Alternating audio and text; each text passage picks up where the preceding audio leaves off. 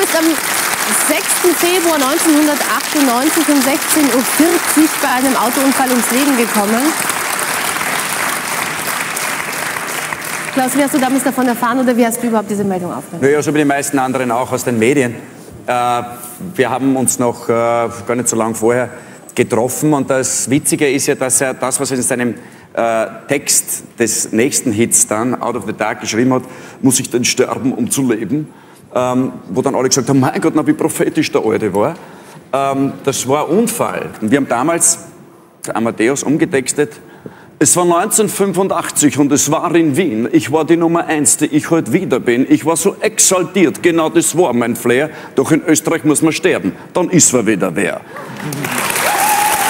Heute bin ich Superstar und bin so populär, das wäre mir nie passiert, wenn ich nicht gestorben wäre. Früher haben sie auf mich geschissen, die Presse mich zerrissen. Die Plattenfirma sagt, man muss wissen, man muss wissen, wann man gehen muss, wann man gehen muss. Das war der Abgesang auf dem Falco. Er hätte sich gefreut darüber.